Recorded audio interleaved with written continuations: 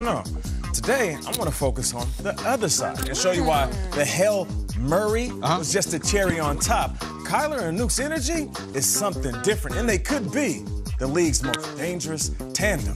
Let's break this on down. Kyler Murray, look at those big old gloves. DeAndre Hopkins, like size 7X. Nuke the bomb down at the bottom. And you'll see Kyler Murray in the backfield, of course, in the shotgun formation. Now there's going to be crossing routes be- between DeAndre Hopkins and Larry Fitzgerald. Now this is beautiful. Pay attention to the bottom where he spot shadow.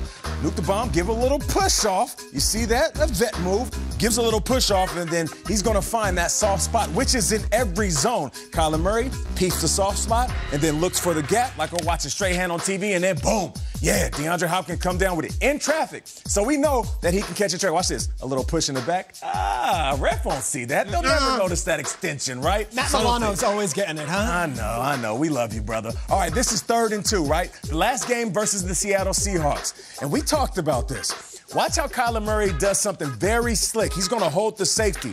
Kay mentioned this play earlier. Look where his vision is. His helmet is straight ahead. It's one-on-one coverage. Kyler Murray knows exactly, exactly where he wants to go. But he has to hold that safety so the safety can play true. And once he does that, he's going to throw an absolutely beautiful ball. Check out the placement, the space on the sideline. This is why you hold DBs, so you can give your quarterback room. You know how you see young wide receivers getting pushed and they're damn near out of bounds? Quarterbacks hate that. No, no, Kyler Murray loves this. A smile all over his face. Haven't seen a smile this big since Peter found out that iced coffee can help with the male libido. Remember that? Um, let's get it popping. Kyle, don't you look at me crazy. If it's true, I want it. Do you remember making the case? All right, um, all right, let's keep this going though. Hello. Now, once again, once again, one-on-one coverage at home. Everybody say it together. One-on-one coverage. Where's Kyler going? DeAndre Hopkins.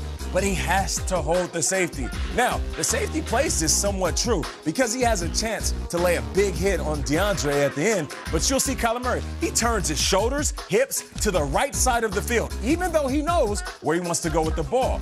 Now, DeAndre Hopkins might not be the fastest dude in the world. Actually, right here, Jackson, the DB, is in perfect position. But still, give it up to your guy, right? I said 50 50 ball between cornerback and wide receiver. When DeAndre is out there, it's more like 90 20. I want you to check out the ball placement. I mean, really, if you're a DB, the coach is telling you you are in perfect position. I want you to check out this angle, though, from the sideline. Watch this. You'll see Jackson try to hold him up by his arm like MJ on the balcony, but DeAndre Hopkins is like, nah, I'm good. You talking about little blanket? yeah, shout out to Blanket. Blanket. And you'll see this. Speaking of Blanket, this is Blanket coverage. Great segue, KB. This is the Hail Murray that we keep talking about. Watch Kyler escape the pocket. Ball in the right hand. And this is the hesitation. He does this every single game. I want to give some advice to defenses. Shoot for his upfield shoulder. They don't get there. Kyler Murray turns his shoulders so he can get this ball up and down, like in between the green, like they're playing golf. And yeah, this right here is a beautiful catch. D Hop going up, surrounded by three dudes, like a pretty girl at the bar, and comes down with it. You got three of the best DBs in the business trying to make a play on the ball Tre White, Jordan Poyer, Micah Hyde. Three guys that are highly respected. And this is a beautiful ball as he's falling backwards. Takes a little bit of shot on the sideline, but D Hop just stands up, jumps up, catches it. He found out that it was completed by looking at the jumbotron after. He had no idea. play. He The one no idea. behind him. He was knocked out. He was eclipsed by the D lineman who hugged him at the end while he was taking him out. Now, this is the X factor part of his game. This is that that variable that you can't defend and really you can't coach. Look how he has that ball out. Doesn't it look like he's about to cross somebody over? Yes. Oh, baby. My God, son, he's out there like skip to my Lou. Got his got the ball out and he's just shaking everybody. that Kyle Van Noy. That's a pretty good Kyle linebacker. Van Noy, oh boy, who is one guy who doesn't get shook off then by running backs, let alone a quarterback. And once again, he puts the ball in the pocket, but look how confident he is. Ball's out like KB at the nude beach, and then he just. Oh my. God! Now this is unbelievable because as he drops back, you don't know if he's going to hand it off. You know he's slick with the ball in his hands, kind of like Lamar Jackson is. And then when he drops back, you don't know if he's going to throw it. The worst thing that happens to defenses is when they drop everybody into coverage because he has become such a good passer. And once he sees that, he exposes every defense.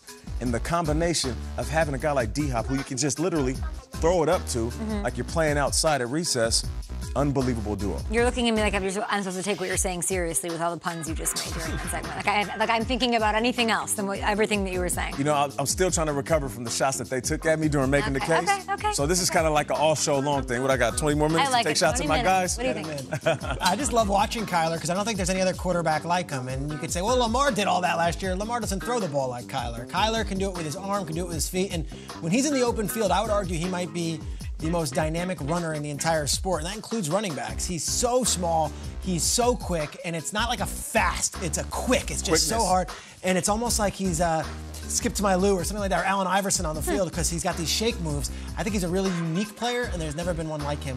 S- specifically, the way he plays football and has that arm. Not saying he's the best player of all time or even the best player in the league. He's the most unique player in the sport.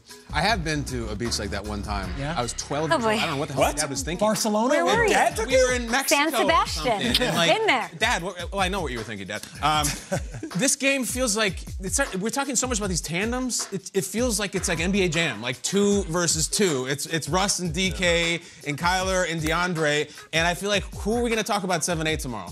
I still think it's going to be Russ and DK. Nate, you absolutely nailed it, of course, but I'm still going to double down. Seahawks are 7-8 tomorrow. It's funny, like the Arizona Cardinals are playing so well that this game, if we would have predicted the storyline surrounding it in the offseason, this was Russell Wilson in the seat. Mm-hmm. Now, with the way the conversation is naturally, organically, we're not forcing the issue here on the show. We have no narrative we're pushing, but it kind of seems like the Kyler Murray game. Is that crazy for me to say that? Mm. And I'm a huge Russell Wilson fan. I just feel like Kyler Murray has a chance to literally shut the door on the conversation that he's in the elite discussion. Especially against that defense. I hope Bobby Wagner has something to say about it, right?